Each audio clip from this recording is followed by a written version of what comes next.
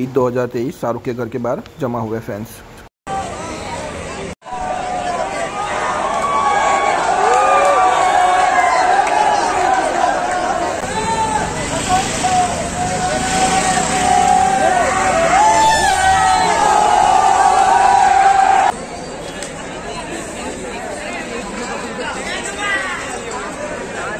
हम हम